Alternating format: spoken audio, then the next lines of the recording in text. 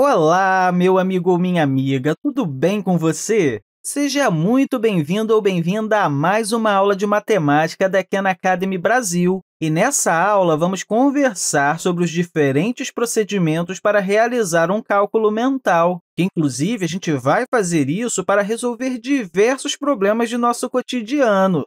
Nós já sabemos que existem várias maneiras diferentes de resolver um determinado problema ou encontrar o resultado de um cálculo. Devido a isso, a estratégia que pode ser utilizada para resolver esses problemas é algo muito pessoal, ou seja, você pode usar a estratégia que te deixará mais confortável em utilizá-la.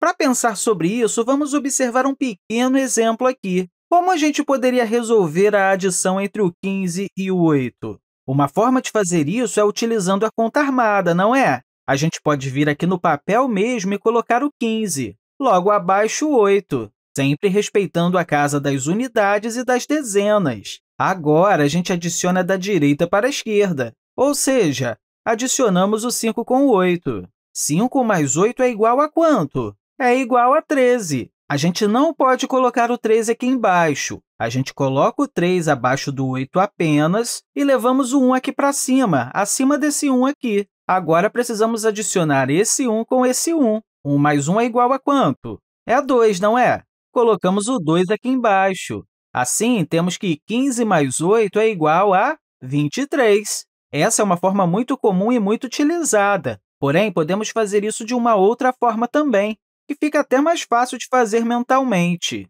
Podemos transformar aqui o 8 em 5 mais 3. Afinal, 5 mais 3 é 8. Agora, ao invés de 15 mais 8, teremos 15 mais 5 mais 3. Fica mais fácil fazer assim, porque podemos somar o 15 com 5 mais facilmente. 15 mais 5 é 20. Agora, adicionando o 20 com o 3, temos 23. Viu como foi mais fácil fazer assim? Nem precisou fazer a conta armada. Ah, também podemos fazer isso com a subtração. Por exemplo, podemos fazer a subtração entre o 23 e o 6. 23 menos 6 é igual a quanto? Podemos fazer a conta armada aqui do lado. Colocamos aqui o 23, abaixo colocamos o 6, e aí subtraímos da direita para a esquerda. 3 menos 6 é quanto? Hum, não é possível fazer isso. Então, pegamos um emprestado aqui desse 2, que está na casa das dezenas. Assim, ao invés do 3, teremos 13. Agora, podemos subtrair desse 13 o 6. 13 menos 6 é igual a 7. Aí, colocamos o 7 aqui. Agora, no lugar desse 2 aqui em cima, temos apenas 1, porque emprestamos 1 para o 3. Sendo assim, temos 1 menos nada, então 1 vem aqui para baixo.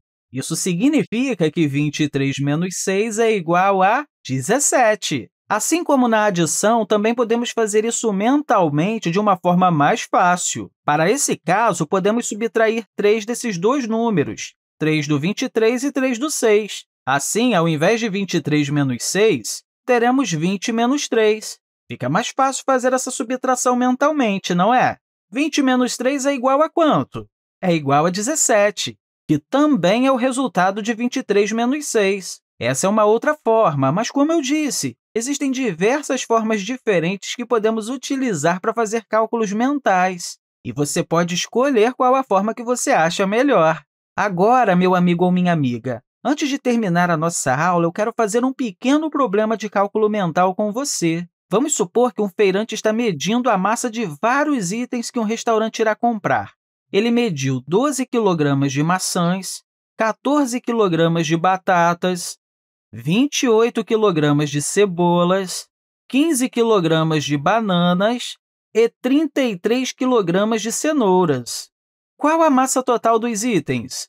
Nós podemos fazer isso através da conta armada, mas daria muito trabalho. Sabendo disso, que tal a gente simplificar um pouco os nossos cálculos agrupando alguns valores? Vamos inicialmente colocar todas as quantidades aqui. Temos 12 mais 14 mais 28 mais 15 mais 33. Para facilitar um pouco esses cálculos, a gente pode transformar esses valores aqui para dezenas e unidades. Fica mais fácil fazer isso. Sendo assim, ao invés de 12, teremos 10 mais 2. Ao invés de 14, teremos 10 mais 4. Ao invés de 28, teremos 20 mais 8. No lugar de 15, teremos 10 mais 5. E no lugar de 33, teremos 30 mais 3. Agora, a gente pode somar apenas as dezenas. Teremos 10 mais 10 mais 20 mais 10 mais 30. E isso é igual a quanto? É igual a 80. Então, colocamos o 80 aqui. Agora, também podemos somar as unidades. Teremos aqui 2 mais 4, mais 8, mais 5, mais 3.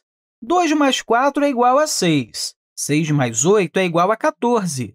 14 mais 5 é igual a 19. E 19 mais 3 hum, é igual a 22. Afinal, 19 mais 3 é a mesma coisa que 19 mais 1 mais 2. 19 mais 1 é 20, mais 2 é 22. Viu como eu fiz esse cálculo de cabeça? Assim, teremos aqui 80 mais 22, que é igual a quanto? Bem, 80 mais 22, a gente pode transformar o 22 em 20 mais 2. Assim, teremos 80 mais 20 mais 2, que é igual a quanto? 80 mais 20 é 100, e 100 mais 2 é 102. Então, temos aqui 102, ou seja, teremos 102 quilogramas de itens. Se você treinar bastante essa forma de realizar operações, você vai conseguir fazer isso mentalmente sem precisar realizar os cálculos no papel. E, sem dúvida, vai ficar muito mais fácil com o tempo. Eu espero que você tenha compreendido tudo direitinho que conversamos aqui e, mais uma vez, eu quero deixar para você um grande abraço e até a próxima!